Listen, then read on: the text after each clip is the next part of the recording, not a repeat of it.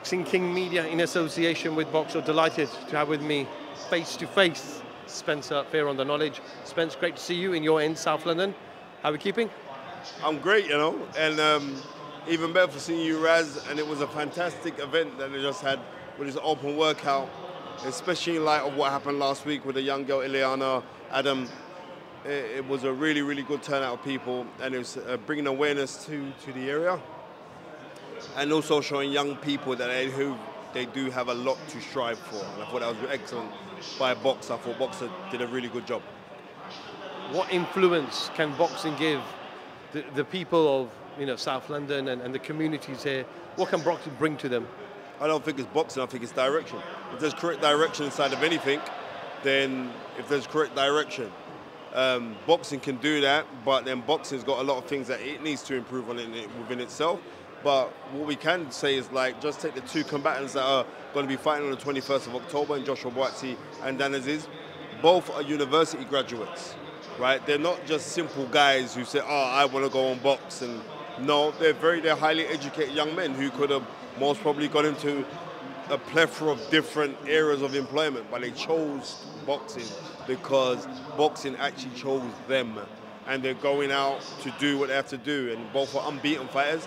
Dan Azeez has won every conceivable title available to win. And he's done it the authenticity route of Southern area, English, British, Commonwealth, European. You don't see that. He's done that. So all the credit in the world should be given to him. And Dan Azeez is a massive overachiever. All right? But the reason why he's had this success is because he identifies with who he is, and he's he's uh, he's become uh, comfortable with who he is. I think Joshua Buatsi is still finding who he is. There's a difference. So it's like this fight's about identity crisis fight. One guy actually knows who he is. One guy searches to find out who he is. But even in the fact that he's searching to find out who he is, he's still a bloody good fighter. Spence, I'll reserve going into too much detail on this fight until fight week because I'm sure you'll be there.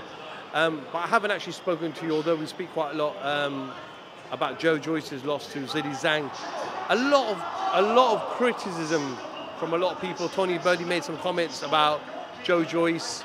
Uh, punch resistance had gone. Joe Joyce is at British level, and, and Fabio Wardley could potentially beat him. But why is boxing the only sport that's like this? At one minute you're a hero, and then the next, next minute you don't belong at that level. Look, it's absolute nonsense. Joe Joyce is still a world-class fighter. He's just, he's Ken Norton, and that's all he is. Um, Zhang's is Ken Norton. Anybody else, I think Joe Joyce wouldn't perform like that. But Zhilei Zhang is certain guys who you actually get your number, and he's got his number. I wouldn't have turned around and said to Joe Joyce to go take the re return, but that's down to his management team and everybody else. And I'm going to be real. His management seems very inexperienced. I'm going to keep it real. Shane Watson's I love the you. I love him to bits. Good guy.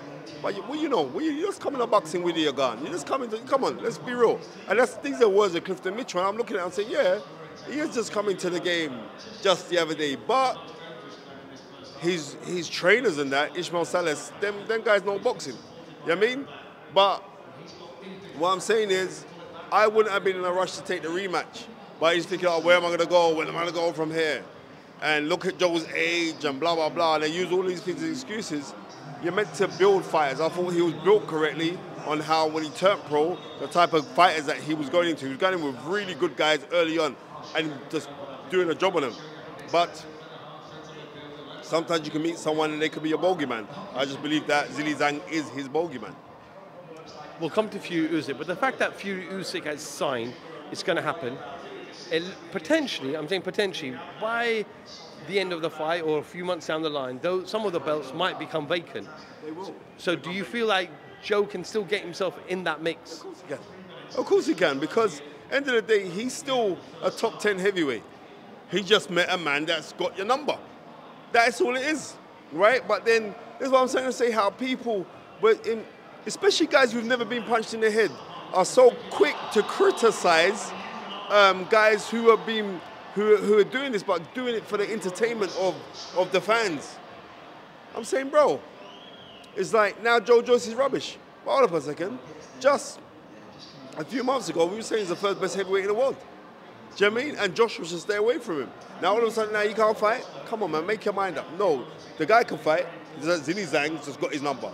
And he's just got to take it as that. Zhilei Zhang got my number. Spence, I spoke to KD from 258 Management, part of Anthony Joshua's team uh, a couple of days ago, and he said that Anthony Joshua was ticking, uh, kind of just ticking away with, with Ben Davison uh, at the moment. Just kind of want you your reaction about Joshua and kind of training with someone who used to train Tyson Fury. What does that make? Does make a difference? He's, if he's ticking over, let him tick over. But me personally, if he ticks over. When someone says I'm just ticking over, really truly, you're going to leave the trainer there with you, know You do realize that. I'm talking from experience, let's be real. Now, I'm saying, are you leaving Derrick James now because Derrick James, when you went to the camp, yeah, had one undisputed champion, right, and one and one unified champion, and they have both lost subsequently to you going into that camp, and you're thinking, boy, these maybe this guy ain't for me, you know, and you've gone, or you know how boxing is, everyone's got opinions, but especially when it comes to training, oh, he can't train, this one can't train. Now, all of a sudden, I'm seeing like, what am I seeing? I'm, I'm seeing um, Mace and, and Cameron, they got a wicked podcast, but, you know I mean, Cameron's saying, ah, oh, I don't, I can't see how Derrick James became trainer of the year. Come on, man, Derrick James is a fucking, he's a good trainer. I'm just gonna be real, he's a good trainer, bro. Now all of a sudden, now he can't train? This is like, this same thing what, what, what applies to fighters we apply the same thing to trainers. You know what I mean? And that's why I am so incredible with boxing history. So people can say, well, nigga, no one can't test me on history. I'll destroy anybody for fun. And they know it as well. You know what I mean? And we're in Black History Month as well right now. So I, have got even more reasons about history. But it is what it is. Hypothetically, if Joshua has left uh, Derrick James or is leaving Derrick James, what would you make up of this combination of Joshua and Ben Davison? Listen, man, like I said, Joshua has to do what he thinks is right for him, and if he can find that fit, do you know I mean? And if he finds that fit there, then so be it. Do you know I mean? Maybe, I don't know. You know what I mean? That's, that's all I can say, because, like, you got one career. Joshua's made a shitload of money. You know what I mean? Maybe he feels like, right, this is the right place for me to be at. I can't, I'm not advising Anthony Joshua like that. We speak, I drop in little pointers, but that's, he got to do what's right for him. You know Looks like Fury Usyk is going to happen. We're going to see an undisputed fight. Finally, Spence sign and seal. I just spoke to Johnny Nelson, and he goes, "Listen, until they get into the ring, I don't believe it." Johnny Nelson took the words right out of my mouth. Until they walk into the ring, maybe this could be a play just to boost up his fight against uh, against Ngannou. You know what I mean? Love, I'm coming, I'm coming. Wait, wait, I'm coming. All right. One second, big man. Just tap your number in here, yeah? Sorry about this, but you know it goes. You know I mean? I gotta show love, I gotta show love to the people. No, I'm saying straight standard, yeah? Until I see them two men walking into the ring, that's when I believe the fight's gonna happen. I'm not gonna get gassed over this thing. They've done it to me with the Joshua thing. It's over the line, it's signed. Do you remember that? I'm getting gassed, yeah, Fury and Joshua. It never happens. Oh no, you're not tricking me again. Until I see you walking into the ring, they're not going to say yes, it's happening. But with the Saudis who have delivered boxing in their region over the last couple of years, they've said that it's going to take place in Saudi Arabia, potentially sometime end of December or January. And further, Frank Warren has said that we will announce the day after the Ngannou fight. I saw you with um, brother Abdullah the other day, yeah? Is that what he said to you? Did he say that to you? He didn't say that to me, no. Well, then I'm not listening to none of it because I know he, he run he, he's the head of school challenge uh, for the boxing. And as he says it, then I'm going to agree with it. I know he's a beautiful human being, a beautiful brother, and I know that he's not going to lie. So I'll wait for him to come out with it, then I'm saying, yep, it's on.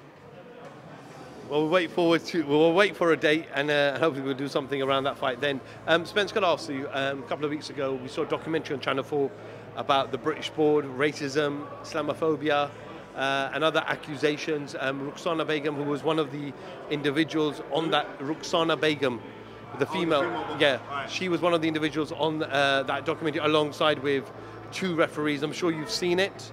Just your reaction and part, part second part of the question is, have you had or, or, or seen or felt any type of dis you know, discrimination of any sort from the board? From the Board of Control, discrimination. Let me tell you this now, yeah? I've been a license holder of the British Board of Control since 1997. I have never, ever, ever faced any form of racism, ever, from the British Board of Control.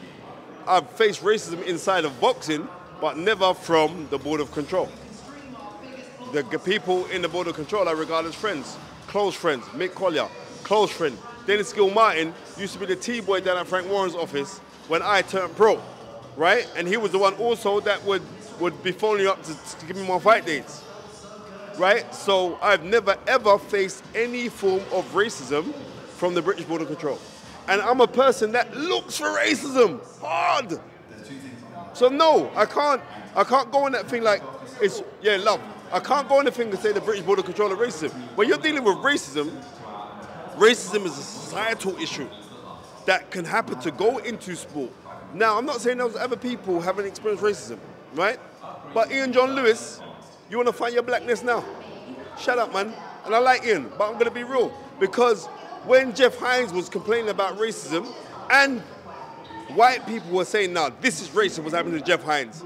And he came to other black board members, yeah, or holders, they turned their back on him. And now all of a sudden now, because things haven't gone your way, let's keep this thing totally 100, right? If it was racism to do with Ian John Lewis, I would say yes, it's racism. I would be the first to say it. Before he even thought that'd be racism, I would say it is. On his case here, it isn't. His case here is because of gross incompetence of him, how he scores fights. Let's be real. Don't bother calling about eyes rate. When it fits now, I fit the narrative now. Now you wanna, brother, let's keep this thing 100, yeah? I'm keeping this thing 100. The young lady who was screaming at racism and saying like, oh, Islamophobia because some bald person said she couldn't wear, and she, right, she said she was trying to be respectful. I've been on your Instagram, sis. The pictures that you got are pretty provocative, so I don't see you re- representing Islam there. And I can say that I'm Muslim. So don't pick, people are picking and choosing when, it's, when it suits for you. Do you get what I'm trying to say to you? Like everybody's on this like, like I've been in certain positions. Like when I was at Sky and I was to argue vehemently about the lack of diversity, and nobody wasn't backing me up. George Floyd died, then everyone's on this diversity thing now. Oh, when I was going on Black Lives Matter marches, it was me, Akala, Travis, who else I seen? Cole Jar, go through the whole list of, of guys. Akala, my brother, that's the first time I met him. We're on the Black Lives Matter march, and, and guys who are professional boxers are looking and say, boy, Spence, but you're Sky, you got to be careful. I said, wait a minute, I, am I not black? And my life does matter. So therefore, I'm not for the, narr- the narrative of Black Lives Matter, I'm for 100%. The organization, I'm not for it. I'm out there. I've went to loads of people who are working at Sky. Are you coming on the march? They're looking at me oh no, we can't go there, you little slave minding people. I ain't one of those Negroes. I'm not. I'm just keeping the thing 100. So, and it's not like for us to be tearing down. People want to scream racism when it fits their narrative. You know I mean? Come on, let's be real. It's nonsense. What happened was, the only one inside of that documentary was a very, very good documentary that was made, yeah? My guy Jordan made it at Channel 4. The only one that could say it's racism and I could say, hmm, maybe it was a bit dodgy is, is Jeff Hinds. Because Jeff Hinds is the most decorated uh, uh, referee in the, in the country and he was not given the position to become a star referee, right?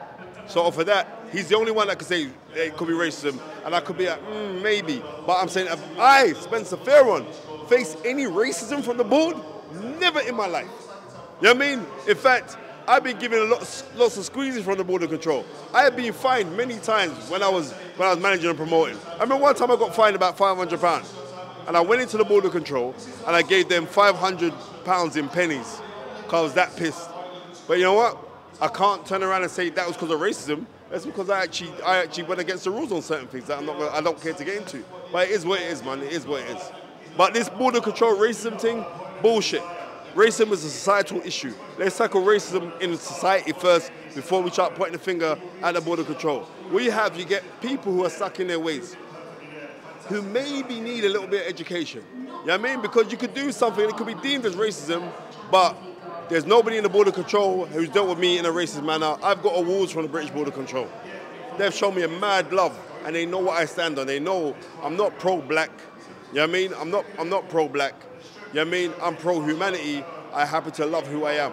So I happen to love the fact that I'm Muslim. I happen to love the fact that I'm a boxing fan and a historian. I happen to love the fact that I'm black. That's it.